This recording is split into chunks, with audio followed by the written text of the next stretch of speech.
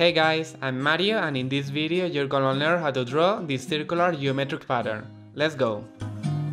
You'll only need any kind of sketchbook, here I'm using a dotted one, but it can be blank or any other type, and then a pencil, a black fine liner, and a black marker. First, you're gonna draw circles of different sizes with a pencil in order to fill up the space. These circles have to be interconnected and this area in the middle that they share that they have in common has to be quite big. Like they have to be really connected and not just barely connected.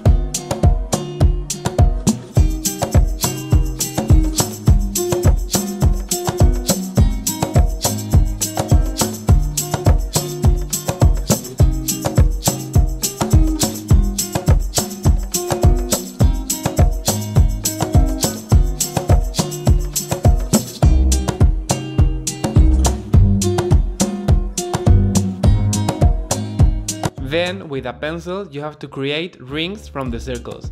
These bands can be wider or narrower, but make sure there's still a gap in between because they shouldn't completely overlap.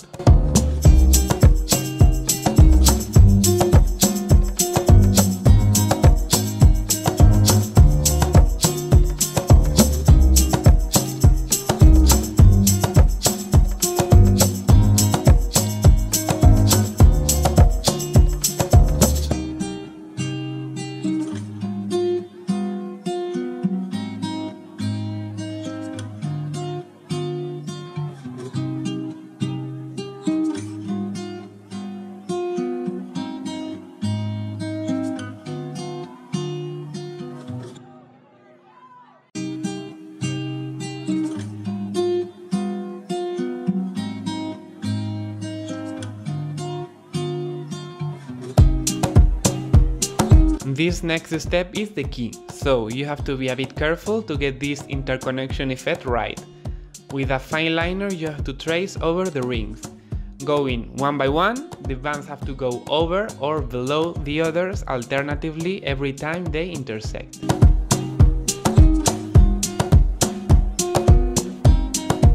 Let me explain. You start with one ring and when you arrive to an intersection you make it go over it. You continue drawing and in the next intersection it goes below, in the next one it goes over, and so on. If you repeat this process all the rings will be perfectly connected.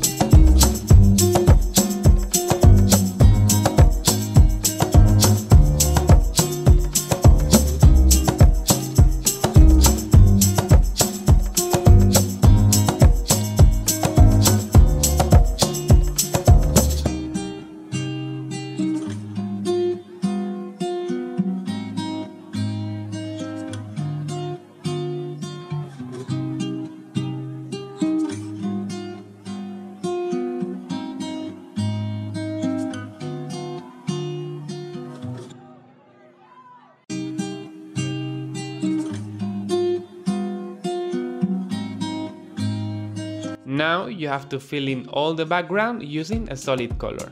I use black because I wanted a lot of contrast, but you can use any other color. This black marker is a Sakura Pigma brush if you are interested. Fill in everything but the rings and continue to the next step.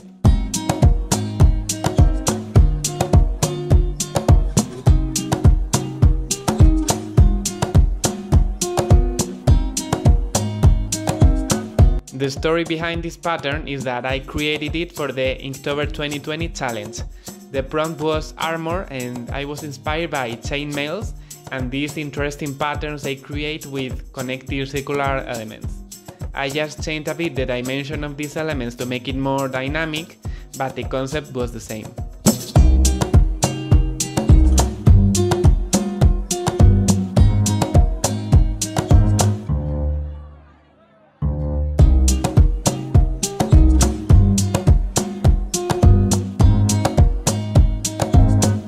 This step is the final touch. you are going to draw curved segments on both sides of every intersection, but only in the ring that goes below, not in the one that goes over. So it creates kinda like a shadow. These curved segments can be longer or shorter as you want. You can try different methods for these shadow effects. For example, dots or lines in a different direction. Just experiment and have fun with it.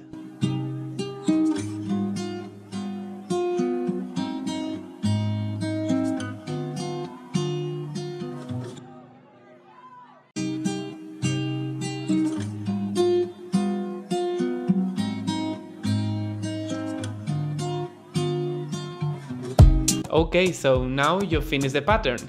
Hope you found this tutorial helpful and you enjoyed the process. You have my Instagram link below in case you wanna try and tag me because I would love to see it. Have a great day, bye!